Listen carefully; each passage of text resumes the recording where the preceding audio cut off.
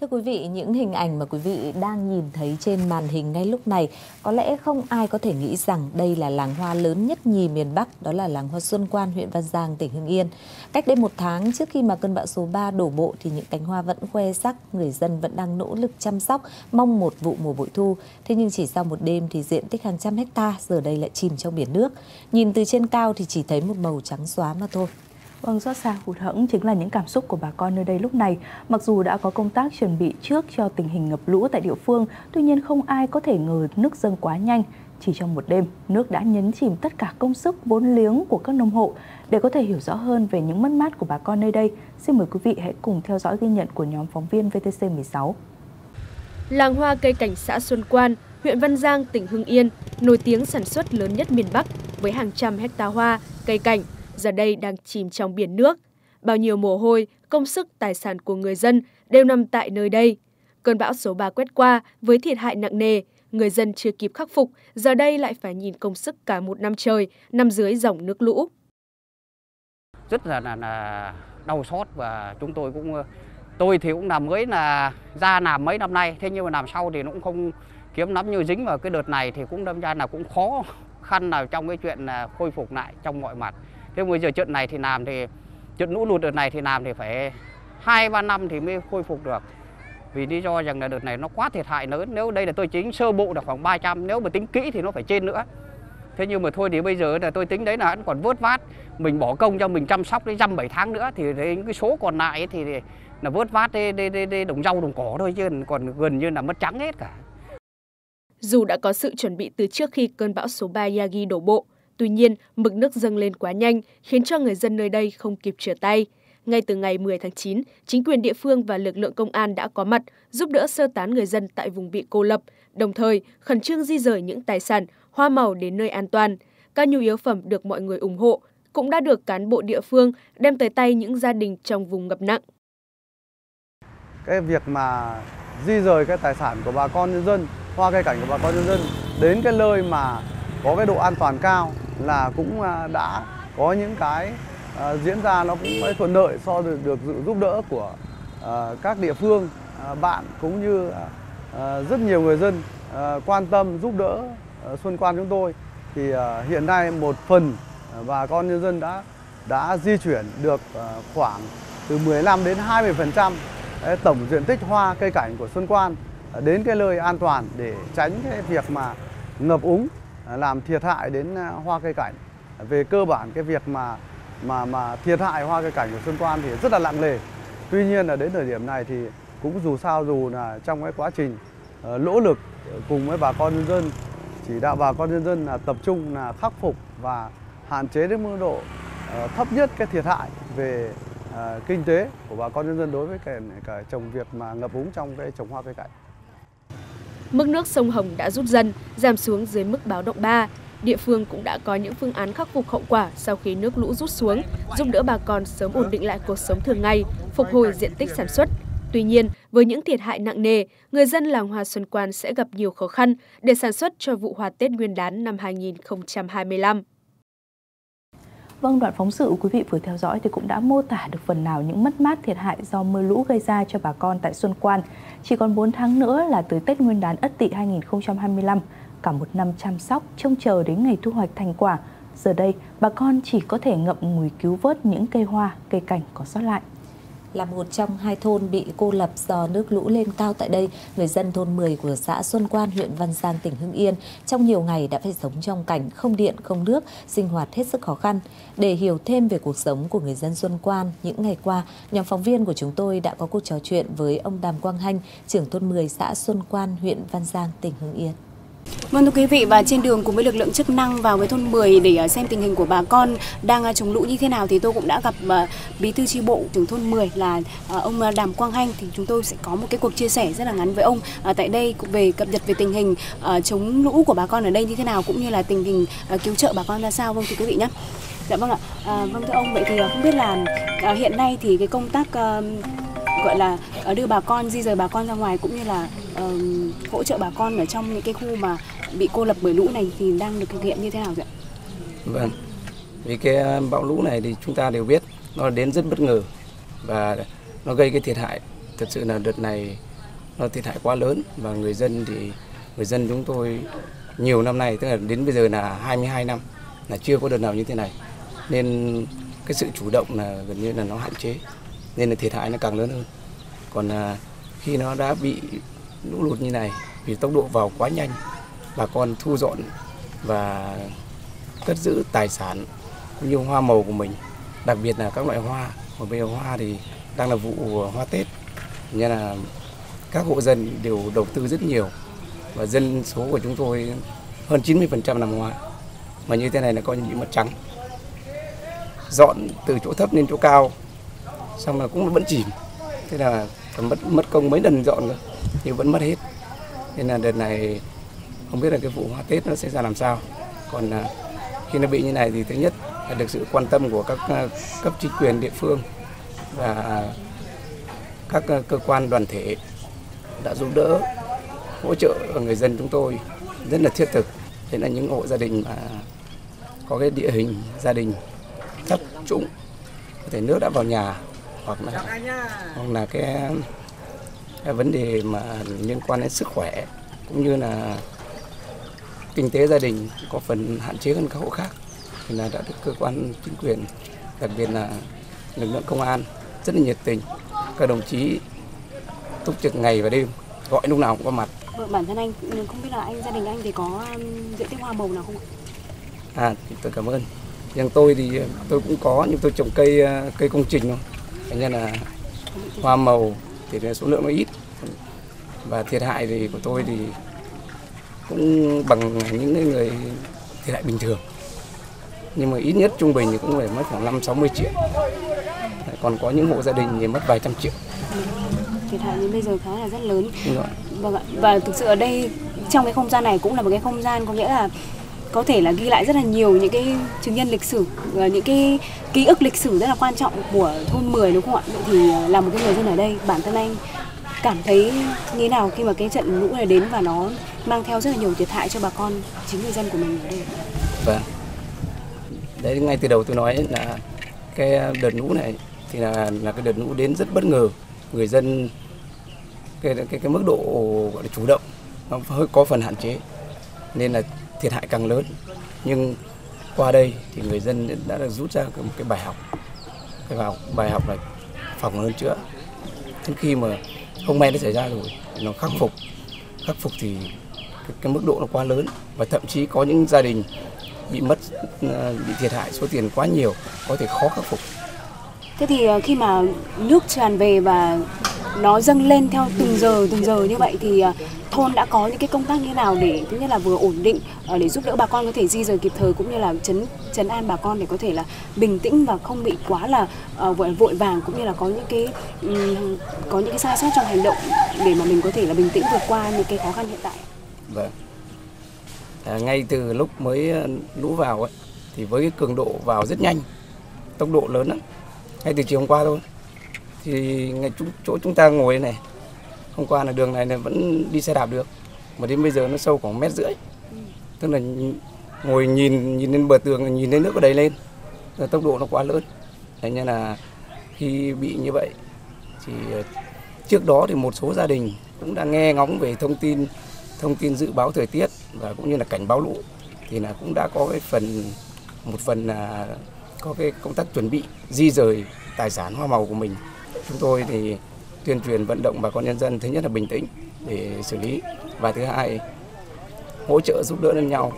Và đặc biệt là các cơ quan, chính quyền địa phương cũng như là các lực lượng vũ trang, đặc biệt là lực lượng công an đã đến hỗ trợ từng hộ gia đình về việc di chuyển và ừ, di chuyển và xếp đặt lại cũng như là giúp đỡ những người dân nhiều thứ nhiều thứ trong cái đợt lũ này lắm.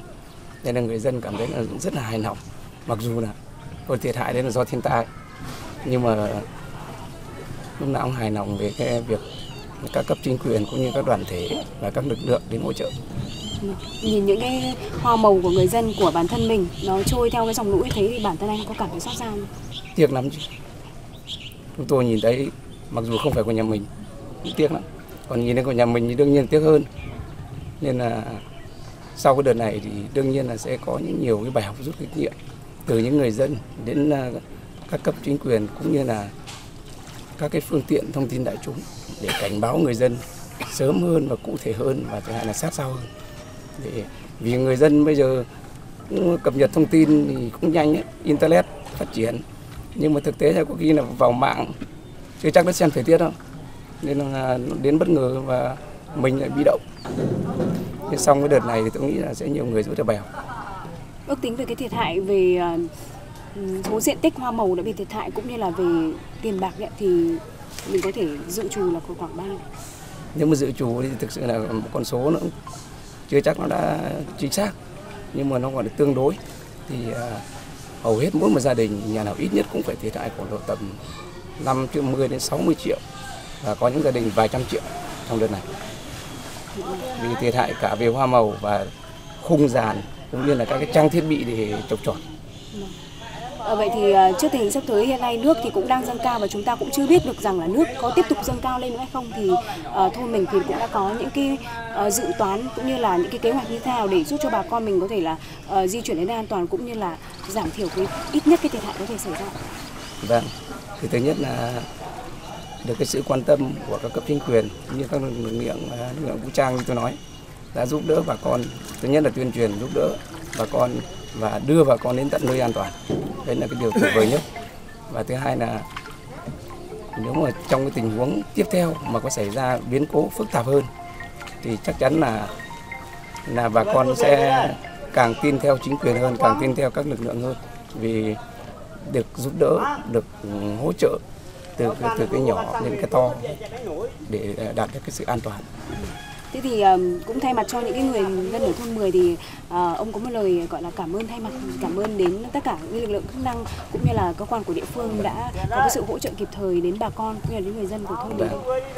Tôi tôi cũng như là tất cả những người dân ở trong thôn tôi và những địa phương khác bị ảnh hưởng bởi lũ lụt đợt này đều rất là cảm ơn và cảm ơn sâu sắc đến ờ, các cấp chính quyền cũng như các lực lượng và đặc biệt là các tổ chức, các doanh nghiệp, các mạnh thường quân đã hỗ trợ giúp đỡ để người dân đã từng bước để sống chung với lũ và sẽ dần dần khắc phục để ổn định kinh tế. Vâng, xin cảm ơn ông và hy vọng rằng là uh, nước sẽ sớm sẽ rút thôi và cuộc sống của bà con thì cũng sẽ sớm có thể là khắc phục được và quay trở lại bình thường và Xuân Quan cũng sẽ tiếp tục vẫn là một cái uh, vựa hoa lớn nhất của cả nước và có thể phục vụ được cho bà con trong cái vụ Tết năm nay. Vâng. Và theo lý giải của chính quyền địa phương thì mặc dù là đã có sự chuẩn bị kỹ lưỡng, tuy nhiên thì nước lũ dâng một cách bất ngờ trong đêm với tốc độ quá nhanh có thể nhìn thấy bằng mắt thường nên là người dân nơi đây chỉ có thể di tản đảm bảo tính mạng cho con người và vật nuôi. Còn đối với cây hoa và cây cảnh thì dù đã rất cố gắng, mọi người cũng chỉ có thể vận chuyển được những cây nhỏ, còn những cây lớn quá nặng và cũng không có phương tiện để có thể vận chuyển nên toàn bộ đã không thể di rời. Vâng, đến chiều ngày 13 tháng 9 thì à, mặc dù mực nước đã rút nhưng mà vẫn còn rất chậm. Chính vì vậy vẫn chưa thể thống kê chính xác con số thiệt hại của bà con nông dân. Tuy nhiên với hàng trăm hecta hoa cây cảnh chìm trong nước và không thể cứu vớt, bà con nơi đây có thể mất đến hàng trăm tỷ đồng thiệt hại nặng nề về tài sản nhưng mà rất may mắn là địa phương đã không có thiệt hại về người. Thời gian tới thì chính quyền địa phương cũng có những phương án hỗ trợ đồng hành cùng với bà con nơi đây để có thể khôi phục lại thiệt hại sau mưa lũ, sớm trở lại cuộc sống bình thường và cũng mong rằng vụ hoa Tết năm nay thì những cánh đồng hoa rực rỡ của làng hoa Xuân Quan vẫn sẽ khoe sắc tại khắp các tỉnh thành miền Bắc như những năm trước đây.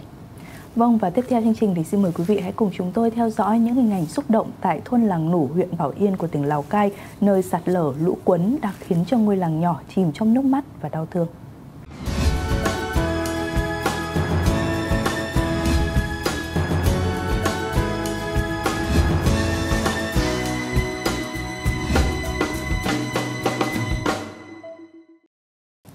Thưa quý vị, những ngày này người dân của cả nước vẫn đang hướng về thôn Làng Nủ, xã Phúc Khánh, huyện Bảo Yên, tỉnh Lào Cai, nơi mà chỉ trong vài phút ngắn ngủi, 1,5 triệu tấn bùn đất đổ xuống 37 ngôi nhà đã khiến cho ngôi làng bị san phẳng trở thành bình địa. Không chỉ là cướp đi sinh mạng của nhiều người mà còn trở thành nỗi ám ảnh cho những người ở lại. Với những giọt nước mắt hay là gương mặt bàng hoàng không tin vào bi kịch xảy đến với chính những người thân trong gia đình tại nơi đây đã chạm đến trái tim của rất nhiều người. Nhưng có lẽ xúc động nhất là hình ảnh thầy cô tại trường mầm non số 1 Phúc Khánh, thôn Làng Nủ, xã Phúc Khánh, huyện Bảo Yên của tỉnh Lào Cai. ngậm ngùi khóc bên vật dụng còn sót lại của những bạn nhỏ đã mất trong cơn lũ dữ. Nghẹn ngào nhìn những di vật còn lại của các con, thầy cô giáo tại trường mầm non số 1 Phúc Khánh, thôn Làng Nù, xã Phúc Khánh, huyện Bảo Yên, tỉnh Lào Cai đã không kìm được những giọt nước mắt. Những chiếc khăn tay được theo biểu tượng các con thích nhất. Có bạn mong muốn lên lớp 1 được mẹ mua cho xe đạp để đi học. Có bạn lại chọn theo hình cờ đỏ sao vàng vì nhà con có chiếc áo tương tự. Thế nhưng, tất cả ước mơ, hy vọng của các con đều đã nằm lại trong lớp bùn đất dày. Lớp học có 18 học sinh này chỉ còn lại 9. Trong số những thiên thần nhỏ đã nằm lại, có bạn chỉ mới 38 ngày tuổi. Các cô đều rất tự hào vì các con đều thích đi học. Chưa một lần các cô phải tới nhà vận động các con tới trường. Các con ai cũng mong muốn tới thứ sáu để nhận được phiếu bé ngoan. Vào năm học mới chưa được một tuần, những vật dụng các con được bố mẹ, thầy cô sắm để đến trường chưa được sử dụng, nay đã trở thành những kỳ vật. Yêu thương, gắn bó với các con trong nhiều năm, có lẽ nỗi đau này sẽ rất khó nguôi ngoai trong lòng những thầy cô nơi đây.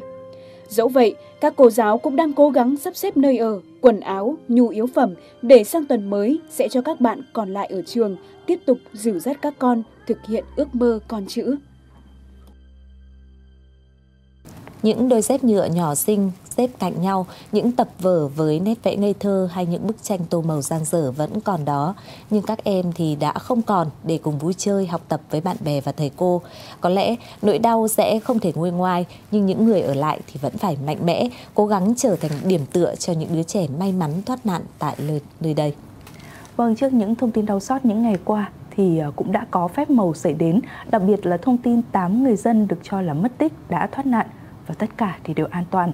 Thông tin này như một tia nắng sau những ngày mưa lũ ảm đạm, tiếp thêm động lực để lực lượng chức năng nỗ lực tìm kiếm những nạn nhân còn lại và mong rằng sẽ có thật nhiều phép màu đến với làng nủ Vâng, và Thủ tướng Chính phủ Phạm Minh Chính cùng với đoàn công tác của Chính phủ cũng đã tới thăm và động viên bà con tại thôn Làng Nủ. Và tại đây thì Thủ tướng cũng đã chỉ đạo đến ngày 31 tháng 12 phải xây dựng lại xong bản mới cho bà con. Mong rằng khi thiên tai đi qua, những nỗi đau sẽ dần nguôi ngoai, người dân Làng Nủ sẽ nhận được nhiều hơn nữa sự ủng hộ chung tay cả về vật chất và tinh thần để có thể ổn định cuộc sống mới. Thưa quý vị, tại Bắc Giang để xả trạm bơm công bún thuộc địa phận của thành phố thông trực tiếp với sông Thương bị nứt tường và nguy cơ mất an toàn. Ngay sau khi xảy ra sự cố, lãnh đạo tỉnh này cũng đã huy động 500 người thuộc các lực lượng quân đội, công an, dân quân tự vệ để tập trung xử lý sự cố. Được biết đây là công trình quan trọng ảnh hưởng đến an toàn đê sông Thương nếu sự cố không được khắc phục kịp thời. Ngay trong tối ngày 12 tháng 9, Chủ tịch Ủy ban Nhân dân tỉnh Bắc Giang đã đến hiện trường trực tiếp chỉ đạo công tác khắc phục sự cố. Những nhiệm vụ cần xử lý bao gồm kè gia cố, đắp bờ bao, răng bằng thép để chống đỡ tường bao không cho bị sập, cho thợ lặn khép cánh cống, chuẩn bị phương án xấu nhất và không thể khắc phục được sự cố. Hiện tại, 3 trên 6 cánh cống ngoài sông đã được ép và lực lượng chức năng cũng đã dùng áp lực nước sông Thương tác động để khép cánh cống.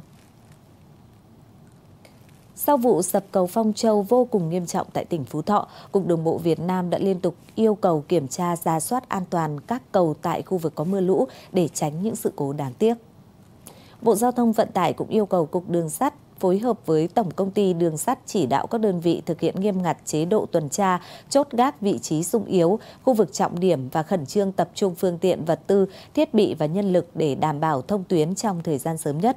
Cục Hàng hải Việt Nam, Cục Đường Thủy Nội địa có trách nhiệm chỉ đạo các cảng vụ hàng hải, cảng vụ đường thủy nội địa, khu vực tăng cường kiểm tra việc neo đậu, đậu đỗ cho các phương tiện thủy nội địa, yêu cầu chủ tàu thuyền phải neo đậu, chẳng buộc chắc chắn đậu đỗ tại các khu vực an toàn. Cục Hàng hải chỉ đạo Trung tâm phối hợp tìm kiếm cứu nạn hàng hải Việt Nam tiếp tục phối hợp với các lực lượng của Bộ Quốc phòng, Bộ Công an và các lực lượng chức năng khác tại địa phương trong công tác tìm kiếm cứu nạn người còn đang mất tích do bão số 3 gây ra. Ngày hôm qua, Cục Đường bộ Việt Nam cũng đã có công điện yêu cầu các địa phương kiên quyết tạm dừng khai thác các công trình cầu không đảm bảo an toàn do thiên tai, cầu có mực nước dâng cao, lưu tốc dòng chảy lớn, cầu yếu. Khi bão số 3 càn quét miền Bắc nước ta, sông Thái Bình, nước chảy rất xiết, tình trạng nước ngập vào đến thân đê đã khiến cho hàng trăm tấn cá lồng trên sông Thái Bình của bà con nông dân ở Hải Dương bị mất trắng.